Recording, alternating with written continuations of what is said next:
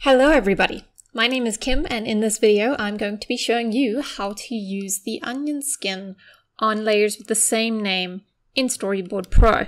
So here I am, I'm busy with my storyboard and I'm actually drawing the characters in each of the panels that I have. In this next panel I want to be able to reference these characters because they're in the same position but just the expressions are changing. So I go to my next panel and I turn on my onion skin by pressing this button up here.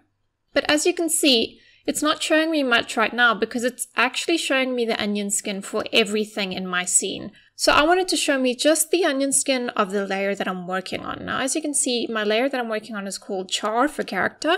If I go back to the previous panel, this is the layer I want to reference and it's called exactly the same name as the one that I want to draw on. So provided that your layers are named the same throughout your panels, if you press this button over here, toggle selected layers only, you'll see that it now only shows you the onion skin of the layers that have the same name as the layer you have selected. So now I can clearly see the line art on my previous panel from the layer that has the same name, and I'll be able to draw my characters easily using that as a reference.